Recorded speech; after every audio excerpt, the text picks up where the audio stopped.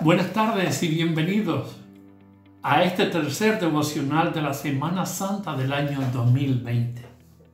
Y para el tema de hoy te invito a que busques en el Evangelio de Juan capítulo 17 desde los versos 1 al 5.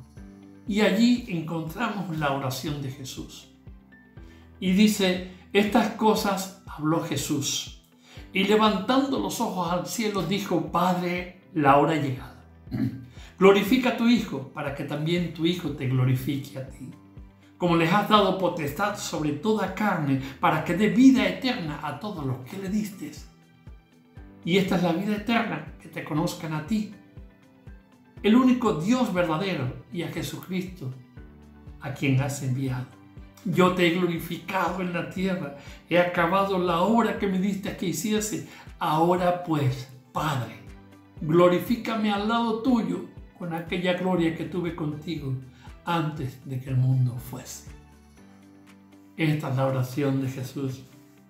Cuando habla la palabra principal de todo este texto que hemos estado leyendo, es la palabra gloria. Y en el original griego la palabra se escribe doxa y tiene dos significados o más, pero nosotros vamos a escoger estos dos que son los que van acorde con este texto.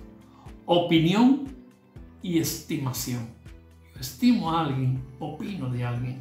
Si unimos ambas palabras en una sola frase, podemos decir una buena opinión. Jesús estaba expresando la buena opinión que tenía del Padre. Jesús estaba dando testimonio con su vida con sus hechos, con su hacer, con su hablar, con su estar, estaba dándole fama al Padre. El tema para hoy es todo por la fama. Jesús lo hizo todo para honrar al Padre. Todo para dar al mundo una buena opinión del Padre. Dios pensó en la raza humana y sabía las condiciones en las que iban a vivir con su rechazo hacia Él. Y a pesar de todo en su plan amoroso, ese amor que no terminamos de comprender, envió a su Hijo Jesucristo para que ocupase nuestro lugar.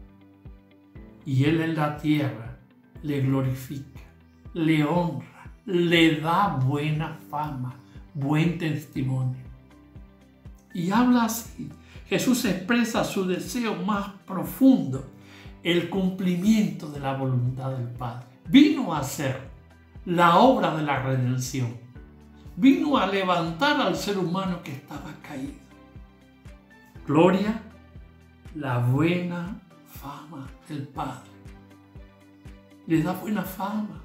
Entonces cuando nosotros miremos al Padre, lo vamos a ver con una buena opinión. Cristo dejó hechos para que lo creamos.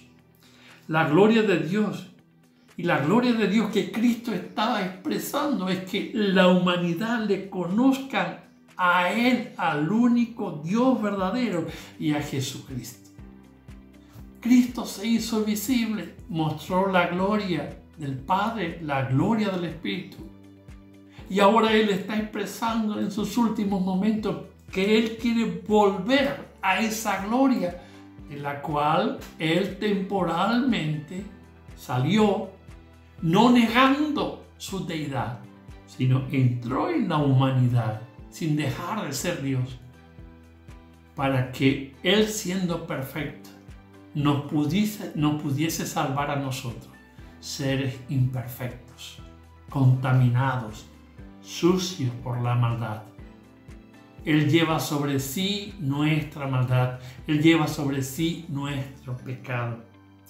Hoy hablamos de la gloria de Dios, pero realmente los seres humanos que nos rodean están viendo el buen testimonio, la buena fama de Dios a través de nuestros hechos.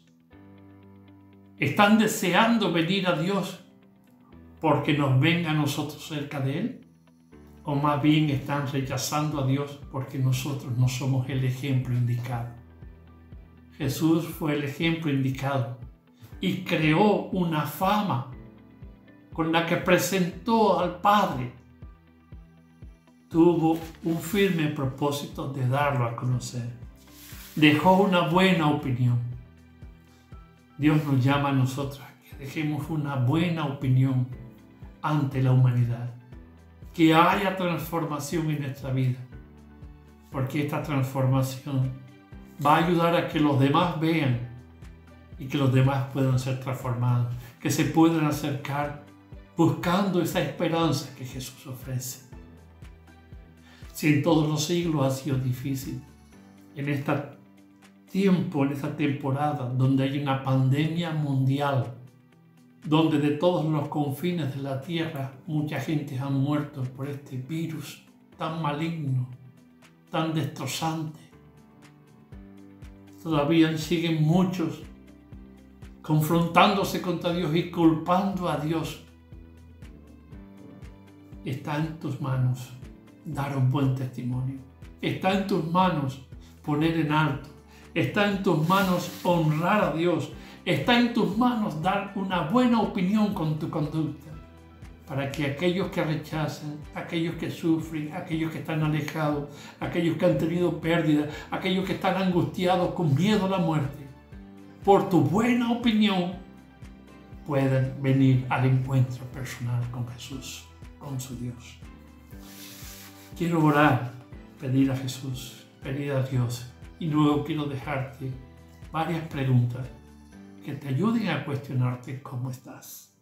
Jesús, que tu fama sea lo primero. Señor, necesitamos dejar a un lado nuestras prioridades personales y mirar tu reino. Ayúdanos a proclamarte en nuestro entorno. Gracias, Jesús, por mostrarnos a través de tu vida lo realmente importante. Quiero dejarte ahora dos o tres preguntas después del oído, ¿cuál es tu meta? Ser conocido como persona que busca la honra de Dios, busca darle fama a Dios. O ser conocido como persona que busca su propia honra, su propia fama. La fama que, la sociedad nos dé, la honra que la sociedad nos dé, no sirve para nada. Si Dios no es glorificado, si Dios no es honrado, no sirve. A todo esto, ¿has o estás aprendiendo algo de esta crisis con respecto a honrar a Dios? Estimado oyente, no es tarde, todavía puede. Cristo no ha venido todavía por su iglesia. Una vez que venga por su iglesia ya no hay oportunidad. Todo el que muera ahora, reconciliado con Dios, pasa directamente a su presencia. Pero el que muera posterior y no se haya reconciliado con Dios, ya no hay una segunda oportunidad. El Dios que la Biblia habla es un Dios que tiene testimonio, es un Dios que tiene buena opinión, acércate, no pelees contra Él. Permite que Él trate contigo y trata tú con. Te vas a asombrar de las cosas que hace Dios. Que Dios te bendiga. Gracias y hasta un nuevo encuentro.